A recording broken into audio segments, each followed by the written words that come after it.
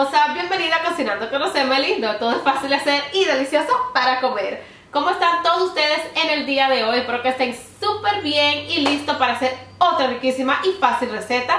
Voy a compartir con ustedes cómo hacer pastel de carne de pavo. Voy a hacer pastel de carne de pavo o meatloaf como se conoce aquí. De pavo, pero usted puede usar carne de res si desea o carne de pollo. Es súper fácil, es deliciosa. Usted lo puede servir con puré de papa o papas al horno, también arroz con habichuela o ensalada, como ustedes deseen, va a saber delicioso. Y esto es, lo que vamos a hacer es básicamente pavo molido, lo vamos a sazonar y después lo vamos a hacer en forma de un pan o en forma de un pastel y después lo vamos a hornear. Es súper fácil, le prometo, espero que todos ustedes lo puedan hacer y disfrutar muy pronto. Vamos a empezar con la receta. Empezando con dos libras de pavo molido, una taza de pan rallado, panko. También vamos a necesitar ajís o pimientos verdes cortaditos, cuatro dientes de ajo bien picaditos, ajís o pimientos anaranjados picaditos también, igual que ajís o pimientos rojos bien picaditos. Una cebolla chalota bien picadita, pueden usar cebolla blanca o morada o roja. Aquí dos cucharadas de salsa inglesa, media taza de salsa barbecue, su preferida, y por aquí también tengo más o menos 3 cucharadas a 4 de ketchup. Y dos huevos enteros. Aquí están. Lo primero que vamos a hacer es sofreír los vegetales. En mi sartén estoy agregando una cucharada de mantequilla. Vamos a mezclar bien y agregar lo que es los pimientos. Pimientos verdes, anaranjado y rojo. Igual que la cebolla chalota.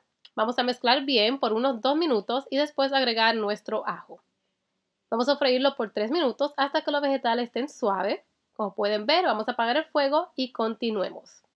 Y ahora aquí tengo mi pan rallado. Lo que voy a hacer es agregar los dos huevos al pan rallado y esto va a formar como una masa para nosotros poder formar nuestro pastel más fácilmente y que no se desbarate.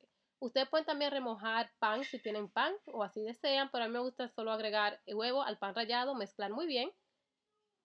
Y así quedó, mira la consistencia. Vamos ahora a sazonar nuestro pavo molido agregando los vegetales que sofreímos. Vamos a sazonarlo también con una cucharada de pimentón en polvo, sal y pimienta al gusto y aquí tengo una cucharada y media de orégano y perejil seco. Vamos a agregar la mitad de la salsa inglesa, más o menos una cucharada, y el pan que nosotros remojamos con los huevos.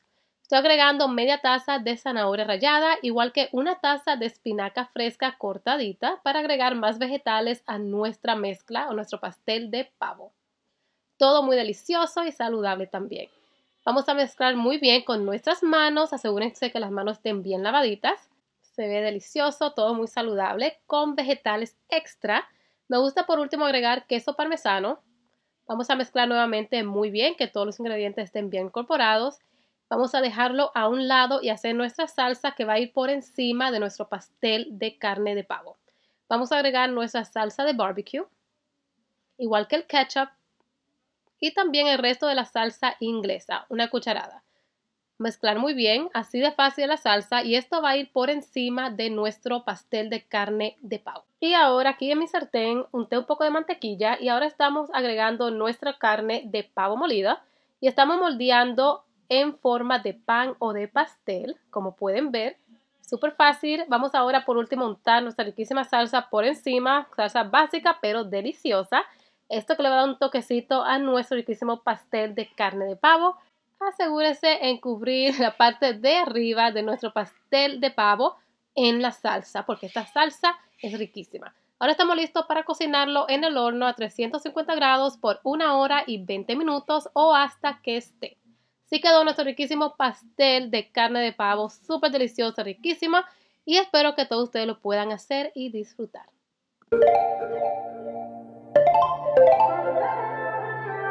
Mi gente, ¿qué les pareció este riquísimo pastel de carne de pavo o turkey meatloaf? Espero que les haya gustado, que lo puedan hacer muy pronto y lo puedan disfrutar también. Si les gustó esta receta, no olviden en regalarme manitos arriba y tampoco no olviden a suscribirse a este canal, mi gente, para más recetas como la que ustedes vieron hoy súper fácil de hacer y deliciosa para comer. Yo soy José Emily y lo voy a ver a todos ustedes hasta la próxima. Bye.